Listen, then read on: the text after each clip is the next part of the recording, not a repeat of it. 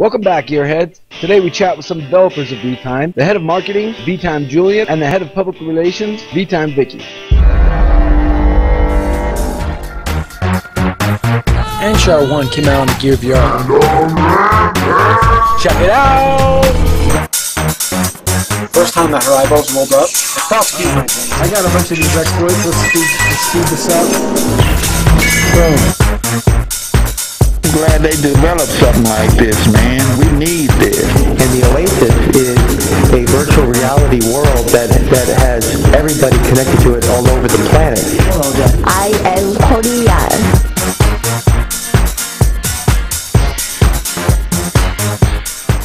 So first off, I'd just like to say that I lost all of the audio of my voice while giving this interview. My editing software was having a problem, it was crashing every five minutes. I figured that out, but in the meantime, I lost all my audio. For some reason, it deleted it all. And deleted the file on the computer, so I no longer had it. So what I'm going to do is I'm going to be popping in and out uh, with my face right now, asking the questions that I asked before, so, and then you'll get the responses. So the first question most people have is how do you know you're talking with a developer on VTime? Well, usually their name will pop up. It'll say VTime so-and-so. Like for example, in this episode, VTime Julian or VTime Vicky. That's how you're going to know you're talking to a developer. Not to be confused with VTime Social, which is going to be Mike Kessler, uh, Kyle's, Stu, uh, quite a few others that run the Facebook social community. Those guys are different. They're not the developers, but they are awesome to talk to, so chat them up. The developers don't always just pop in with their credentials flashing. Here's an experience that Micro VR had. They all come in with different with different avatars and different names all the time. So he's like I, I was having a whole conversation with V-Time Jim without knowing it was him. He's like, dude, I'm V-Time Jim. Like, oh, oh, I should have recognized your voice. Wait, I'd recognize his voice. Like, how the hell am I supposed to know that? Luckily, I didn't say I didn't say anything bad, or you know. Sometimes I'm talking on here with Elton, or and you know Stephanie.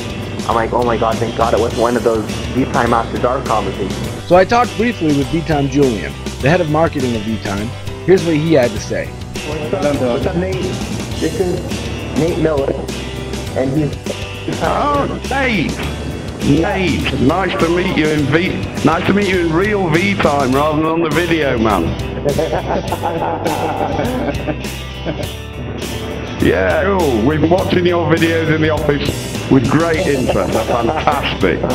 Absolutely fantastic. Aside, all of you guys also do a really good job because, you know, I'm, I'm in charge of marketing VTime and you've given me the easiest answer in the world. When, when, when people say to me, when, when people say to me, why is VTime better than, than the other systems? My answer is, go search Reddit, Twitter and Facebook, which I don't control, and see what the other users say about it. So listen guys, I can't thank you enough. You've given me the easiest job in the world over here.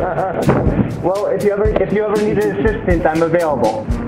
Uh, well, don't worry. You, listen, you might regret saying that, mate. Trust me. you you may well regret it. But I, I'm I'm deadly serious. You really have made my job super easy. Uh, you know, because the the best thing in the world is when other people say stuff about your product, and because of course of course I'm going to say it's great, aren't I? Uh, so um, it's much easier when I direct people onto. What I term old-fashioned social media, um, and uh, and they, they go on there and uh, and see what all you guys have to say about it. But it's it's just fantastic, and just keep encouraging everybody to keep giving us their feedback. We listen to everything. We hopefully try and answer everything. You know, we uh, we're super keen to keep in touch with everybody and uh, try and sort everything out. It's it's really why we re- it's why we released it so early. Because I'm I'm a really lazy marketing guy, and I believe the easiest thing to sell is something somebody wants. So it just seemed obvious to me to ask everybody what they wanted, rather than us trying to sort of dream it up and uh, Right. just put it out there. VTime Julian wanted to go and make the rounds and talk to as many people as possible, so he jumped out of there. But luckily, I was able to catch up with VTime Vicky. Yeah, Hi. and we have to have patience as well. I'm good. How are you doing? I know you. You make the videos. yeah, I, I retweet your videos. You're doing a great job. It's great to meet you. Yeah, I, I, we, we love watching your videos in the studio. The um, yeah, the little um, the little things you had with the with the grandma that they really made me giggle, and the guy um who was rapping uh, that's, uh, like close to the edge when he got on the edge. That was hilarious. It was brilliant. yeah. I was in Texas last week visiting my niece with my daughter. Oh, really? When I was on the airplane, everyone thought I was a freak. They had no idea what I was wearing. Some some old ladies behind me tapped me on the shoulder while I was on in virtual reality. They're like, "What are you doing? What is that?" I, I didn't even think to ask them, you know, "Are you epileptic?" I just put it on them, and they're like, "Oh my god!" they, they're And this is Doublehead rapping on the edge. Miguel Round. I'm the new fool in town, and my town's laid down by the underground. I drink up all the Hennessy you got on your shelf, so just let me introduce myself. My name is Humpty. If you want to see more of that episode, I've left the link in the description below. Now VTime Vicky meets the queen of VTime. Yeah. The queen. Sorry, I didn't know. I would have, I would have curtsied or something if I'd have known. I don't know if you've spoken to Paul Hollywood, but that, that's his favourite thing that's ever happened in V time. Yeah, yeah, it's good. And we, we've also had news this week that um, two people met each other V time and they're now dating in real life, which is great. It's happening. we're, we're having transatlantic relationships founded in V time. Um, what what like you, you guys obviously spend a lot of time in V time. Um, what what else what else could we add that you'd like to do? Steffi's Bakery.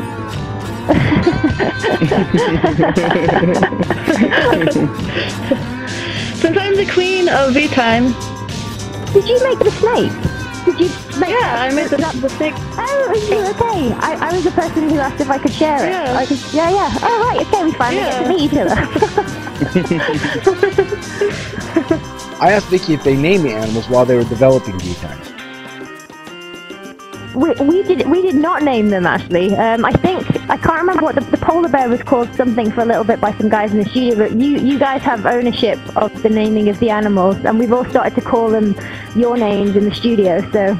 And like go, going through all your sadness when uh, when like the owl the owl was let out by mistake when we updated, but we quickly tried to sort that out. We were pretty upset about that. yeah, yeah, I could, tell. Never take away my Bubba. is he, is he, Oh, I still miss the spider, the tarantula. I miss the spiders actually. I, I did, there was there's quite a few stuff in the um, in the early builds that we have, which is not there now. Um, I think we're going to bring some of it back. But yeah, the gallery that's coming soon, that's pretty awesome, and you guys are going to love the, the screening room um, where you'll like sit together and watch videos um, from your phone. Oh, you can show videos of your your Can do like stuff. Um, I don't. Initially, it won't be streaming. It'll Yeah. be um, user-generated content. So the videos that you have on on your device, you'll be able to share. Oh, okay. And so, yeah, so soon we're also going to be joined by uh, all the Rift users and the Vive users, and then I don't know if you saw the other day, we're, we're just been announced as PSVR developers. So, yeah, by by the end of the year, there's going to be like five five different platforms all using VTime together. Then I asked, it's pretty ambitious to bring this all together cross-platform. How has it been to bring this all together? Um, it's quite hard. we, we do a lot of late nights in the studio, but um, a lot of the guys, um, like Hollywood and people that you would have met before, they all um, come from a console development background. They all made loads of PlayStation games. So, uh, games, I don't know if you like racing games like MotorStorm, um, Drive Club, uh, WRC, games like that. They, they, those made, they made all those, and then they left Sony and they now work for for VTime. So they're using all the same talent to do the same uh, to do this. Thank you very much. It's really it's like we love watching the uh, the VTime social community. It's just it's a dream come true. and it was really great to see that Mike got quoted in a the CNET feature. Um, they did that was amazing. Yeah, and we had some really good user feedback on this. Mike wrote and said, I've been speaking with people throughout the globe on VTime since January. It's Oh. definitely the best virtual social experience. Wow, cool to have So- a first-person experience. You can see his avatar, like producer Logan, bring up his uh, his tweet again. You can see his avatar is literally him in real life and him in VTime. Wow, it does look similar. So he's got a little, he's got a, his little avatar up, and then Daniel wrote in and My suggestion was, I thought it'd be funny, for example, if we were in space, that a huge meteor came out of the sky and crashed into the Earth, causing like a mass extinction event. Something that everyone watching would be like, whoa, what just happened?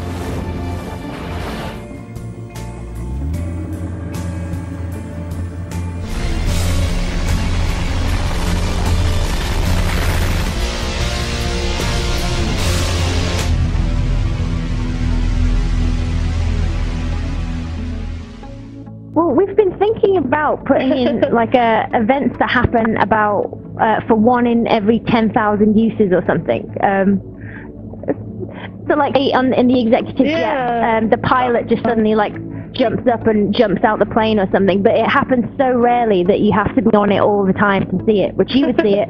You're the queen. you would definitely see all of it. I love it. Some of my favorite things that's happened in VR have just been from the VTime users. Well, in, I mean, in this in this little in this room right now, like my my two favorite things that I've posted on social media, your videos and your snake from the other day. I was like, oh my god, it's Boba in real life form. Yeah, I work in a bakery. Oh right, okay, cool. Um, ah, so all all the nice pictures of tasty looking treats are all are all you.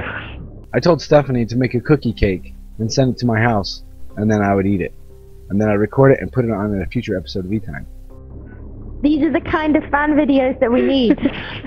That'd be amazing. we need baked goods to be posted across the country so someone else can be filmed eating them.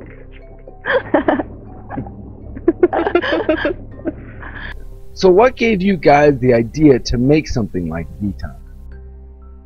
Well, we first, first of all, we, we knew we wanted to work in virtual reality, and at first we were making um, an app called Cybercook.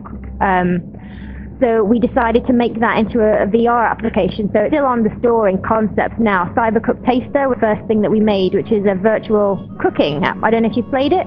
Um, you get to make a prawn have. stir fry. Uh, yeah, so that, that was the first thing that we did. And then while we were doing that, um, we started to think of all the different things that we could do that would put all of the team's skill set uh, to work.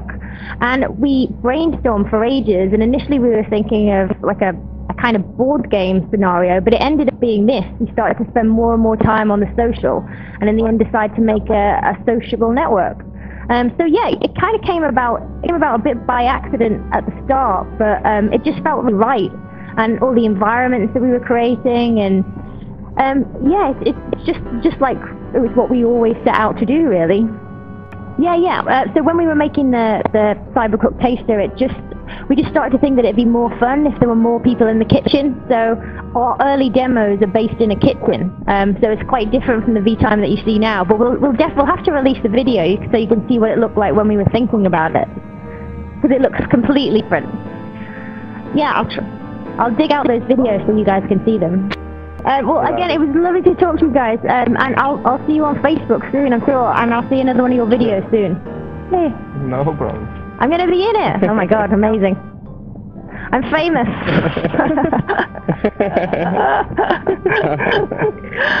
cool. I'll see you guys soon. I'm impressed with just how grateful the developers are to the fans of VTime, and for the founding members of the VTime social community. If you'd like to join, go into Facebook and type in VTime Social Community and join up and talk with lots of users uh, outside of VTime. Sometimes you like to go on there and you like to say, hey, I'm getting on in 15 minutes. Anyone like to join? And then you'll have people hop in right away.